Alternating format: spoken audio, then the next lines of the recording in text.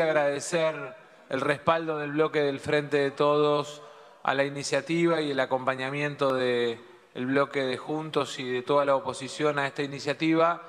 que representa para más de 6.000 entidades de la Argentina,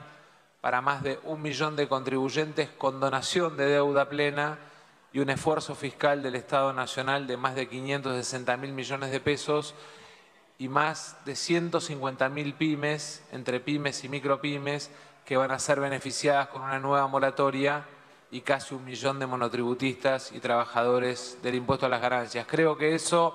vale el agradecimiento del presidente Alberto Fernández y de cada uno de nosotros, porque es una herramienta que sirve para ayudar a recuperar a aquellos que por la pandemia se fueron cayendo. Así que gracias a todos los que trabajaron para darle rápida sanción o media sanción a este proyecto.